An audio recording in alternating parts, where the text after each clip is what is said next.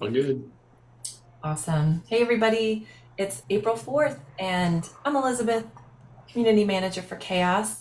Um, you are at the CHAOSS Weekly Community Call, and this meeting is for going over just general stuff that's happening in CHAOSS, uh, that stuff that we need to discuss as a community.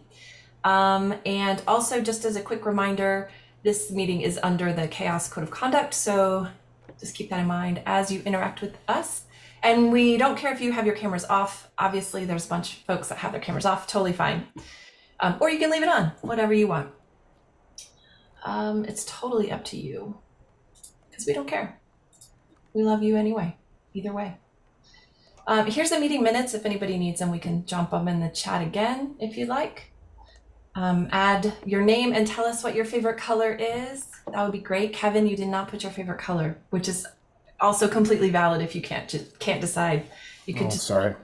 like All the colors of the rainbow. you could just do rainbow. That would be totally fine. Sorry to put you on the spot, Kevin. Blue, I love it. Okay.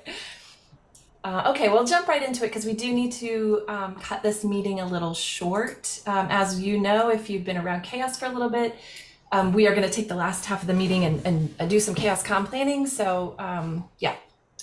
Um, first thing is, I just wanted to say thank you for covering for me. All my friends have been out for a little bit, and in case you hadn't heard, I had I did have a death in the family, so I really appreciate everybody just jumping in and covering for me. Matt, Sean, Don, Kevin, y'all are awesome. Um, Ruth, everybody, I really really appreciate it. So thank you from the bottom of my heart. I really appreciate it, and I will try not to get teary as I'm thanking everybody for being so awesome.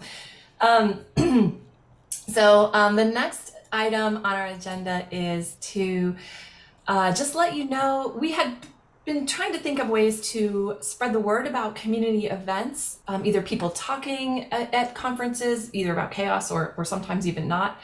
Um, and also open CFPs. We kind of we we tried putting these in a Google Doc. Um, that was maybe not the best. It wasn't working the, as well as we had hoped. So we're just going to encourage everybody to post something in discourse you can do it under the community category. And if you just want to give it a tag of conferences, that would be awesome. Um, so if you're speaking at an event, just post something, um, your name, the event, what your titles or what your talk's about, and then a link to your talk. And then um, if you know or if you see an event that you think might be of interest to this community, um, feel free to put something again in, in discourse that might be an, an open CFP that folks might be interested in. So that way, if you want to just know about that, you can subscribe to the conferences tag. So if something new comes up, you can have an email about that. And you can do all of that stuff in your discourse preferences under your account. Um, so we're going to try that and see if that works a little bit better. Um, and if it doesn't, we'll think of something else. But for now, it's going to be just kind of up to the individual to post something to spread the word about their talk. Is there any questions about that? So it is, is it open source conferences 2023? We have that. Is that a tag? Uh, it's, I don't know all the words. Is it a? It's that. Okay, let's see what that is. Uh, oh, oh, it's just a thread. Okay, so yes, ah, I even started it. I didn't even remember starting. Go me. Okay, you can add it to this thread if you want. Um, it's right. Actually, let's put this in. And I didn't even tag it. That's how good I am. I didn't even tag it. Can we can we tag it? I don't know how to do it now after the fact. Okay, I'll figure it out. Uh, let's put this thread here. So never mind this, and just put it in in that thread. There we go. And yes, Sophia, I do have a a sheet and it was like a lot of things around KubeCon, I think, folks participating in that. And so it just seemed a little bit clunky to try to keep that posted. So that's why we're trying this.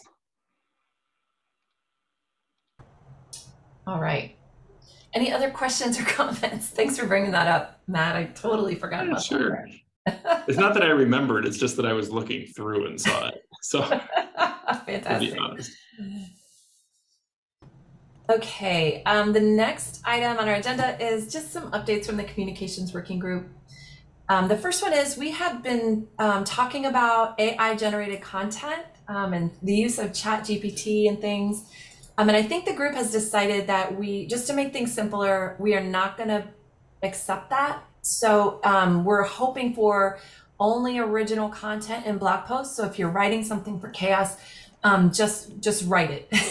Please try not to use AI generated content, at least for right now. We would really prefer original content on that. And then the second thing is we are trying out, or going to be trying out, I haven't um, started it yet, it's on me. Um, we're going to be trying out CoSchedule, which is um, a tool that can be used to schedule um, posts, social media posts, help consolidate everything into one place. Because right now it's all kind of Twitter and Mastodon and the blog and everything is just kind of siloed and doing its own thing. Um, there is a few, there are, I should say, there are a few bridges um, with Slack and a few bots that automate some things, but we are going to try this CoSchedule tool to just kind of make everything a little bit easier and simpler for those of us who are working in that space. So, any questions Uh, about Elizabeth, Mhm, yeah. yeah, I like the first point you raised against uh, content generated by uh, this uh, large language model, but I don't know if you have any clear procedure to make sure it is not. Because I don't think uh, leaving it at the discretion of authors is sufficient enough to, for whatever purpose or decision that you came to that conclusion. I mean, there are a couple of ways you can detect that and flag it. So are you thinking of implementing some of those strategies to flag them and to make sure those uh, whatever your objective of not uh, integrating it right now is met? Uh, that's a great point. I think um, there are, like you said, there are some tools that if you run a bit of text through them, it will um, calculate the probability that it was uh, AI generated content. Um, so we definitely can use one of those tools um, to kind of flag. And then we would also then just double check with that person to make sure that, you know, that, yeah, they have used it. And um, uh, we would encourage them to rewrite rewrite the post in, uh, just using their own words and their own thoughts and ideas. Because um, that can't be you know that's that's something very special and everybody has their own ideas and voices. And so we just want to um, highlight that instead of just something that comes from a computer. So um, yeah that's a great point armstrong and we haven't really formalized anything i would say that if um, something um, maybe doesn't seem quite right we would probably run it through those one of those tools to to see and um, go go from there. But I would really like to actually hear from some of the professors in the group that also deal with this for from their students uh, submitting some some uh, content that might be AI generated. Are there other tools that y'all use?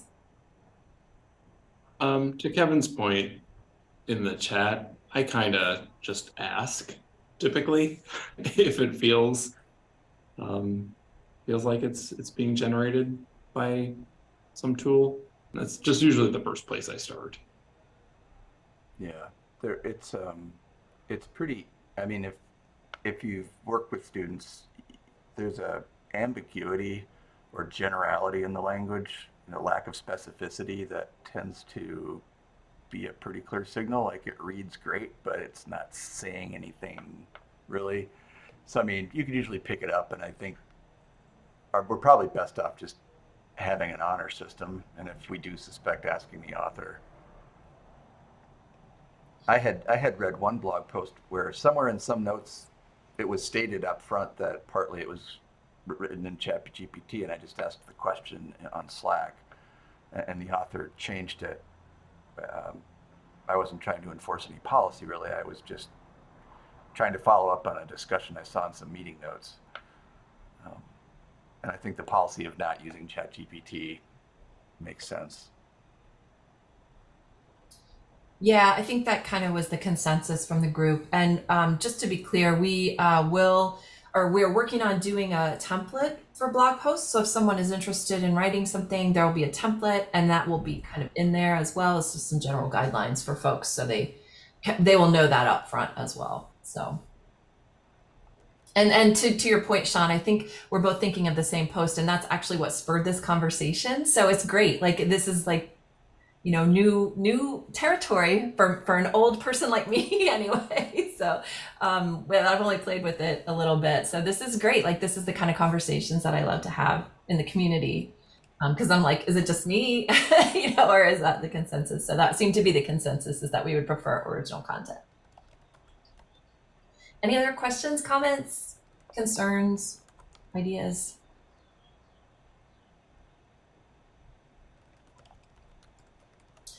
Okay, let's move on.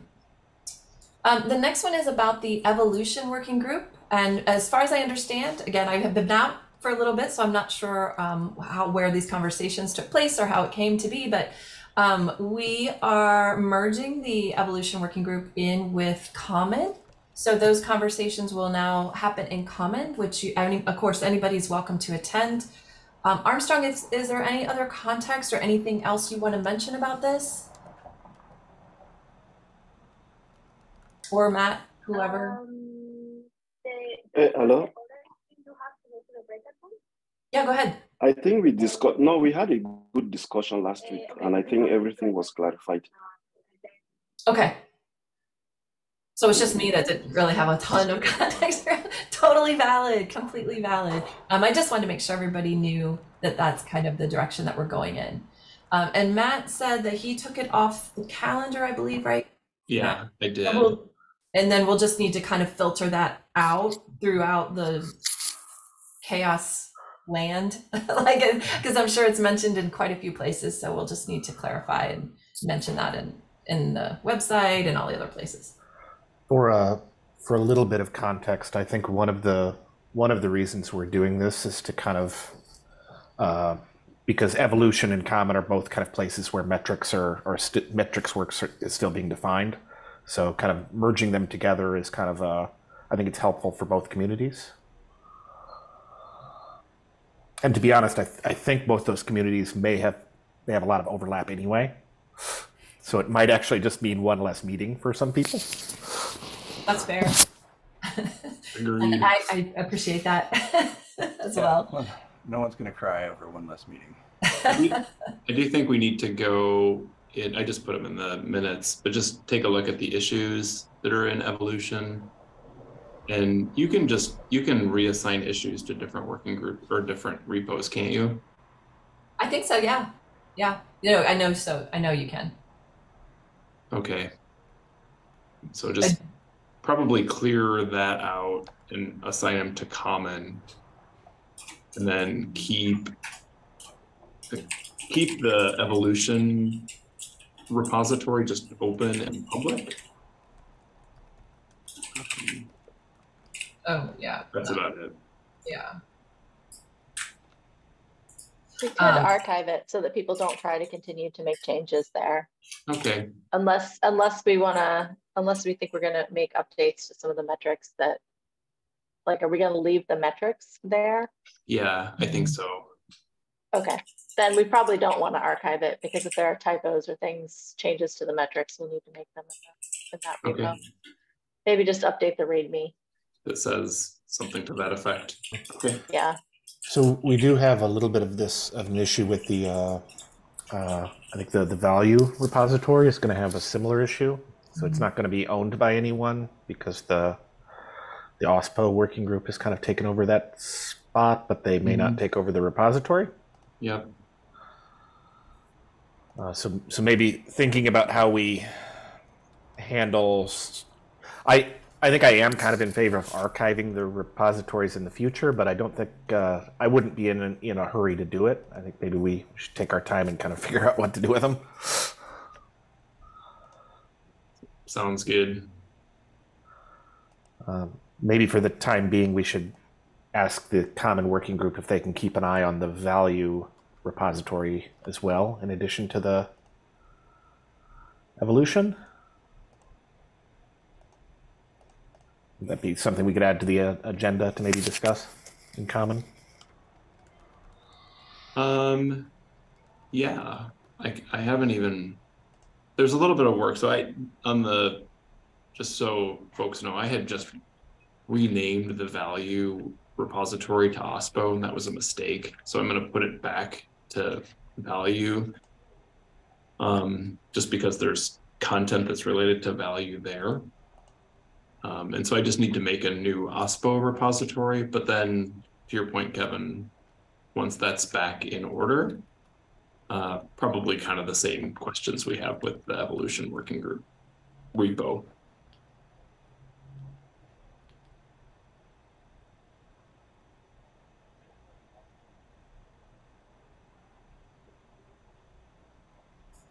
Okay, anything else with this we want to talk about? Okay, let's go on. Um, CHAOSScon North America, we have posted the schedule in case anybody missed it, which you can find here.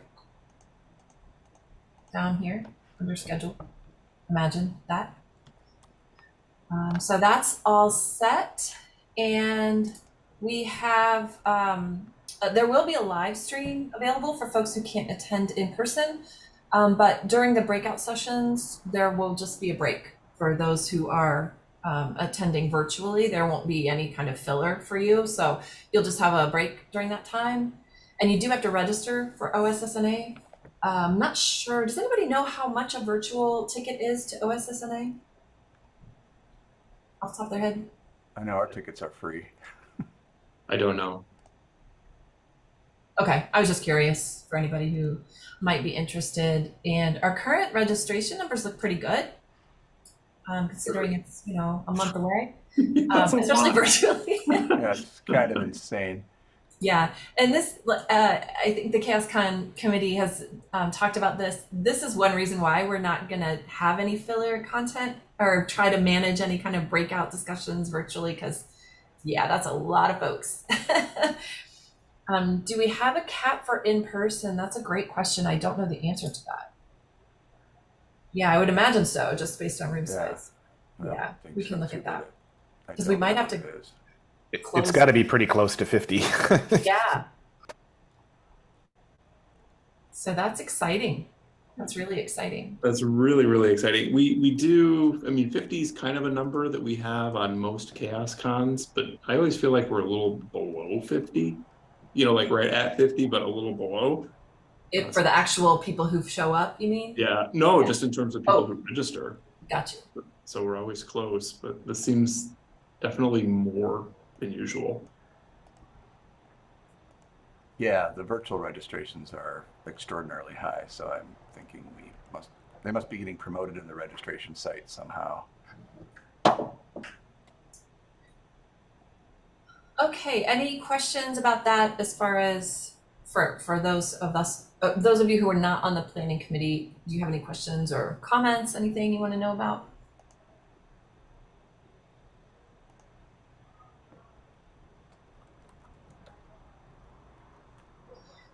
Okay. So let's go on. CHAOSScon Africa. I was super excited because I did read back through the agendas for the last few weeks. So I was super excited to see this. Um, is there anybody who does have an update on that that's on the call? Maybe Mary Blessing? I'm not sure. I don't want to put you on the spot. I don't know if you're involved in that. Um, I have a, I can give an update to the best of my ability. So, Okay. um, it is gonna be in June in Lagos. And I think some of the information is down below, maybe. Um, there you go. And so it is being co-located with an event. Um, I know that I've been talking with Ruth to put together the, a prospectus for support um, she put together a, a budget that she had shared with me, and so uh, looking for ways to get that uh, financially supported. I think at the moment right now. So that's kind of the update. Awesome. Do we know if um, registration's open for it yet or anything like that? That I don't know. Okay. Like I don't know how that's being handled. Oh, but I. Oh, go No. ahead. Yeah, we registration is not open yet. Okay. Yeah, at the last at the last meeting, there was still some discussion about how how to do that or what what uh, what platform they were going to use. Oh, can anyone hear me now? Yes. Okay, sorry, network.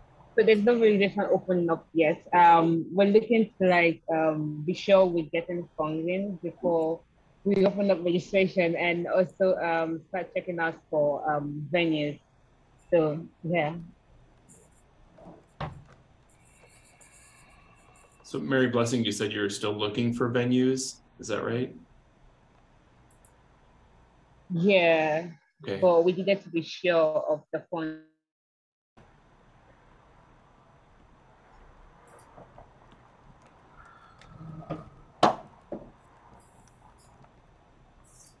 Okay, thank you, Mary Blessing, and keep us posted on that um, if you can. That'd be great. I think that's really awesome. I'm very excited about that. Any other questions or comments?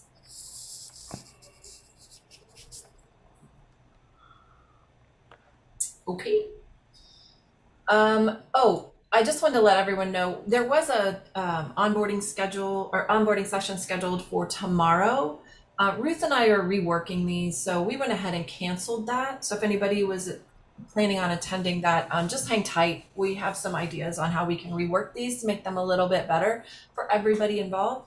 Um, we will still continue to do these, but we're just gonna change things up a little bit. So that's been taken off the calendar. That's canceled. Um, sorry if anybody was super excited about attending that. I apologize. but again, hang tight, and we'll we'll get you uh, to the next one for sure. Is there anything else? We have four minutes before we're gonna. Anything else? Uh, hi Elizabeth. Hi. Hi Elizabeth.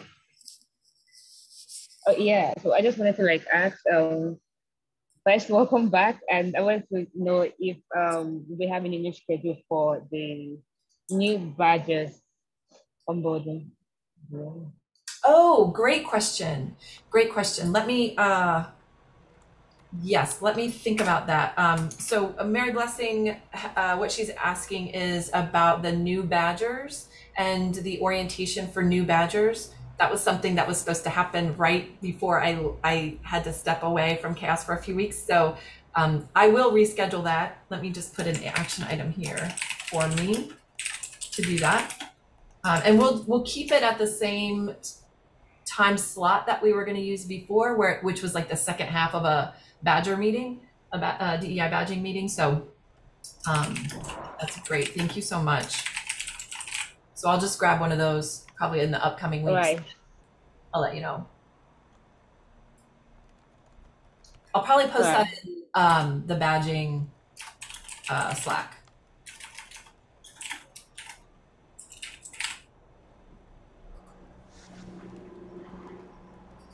Anything else to add to the agenda real quick? We got two minutes.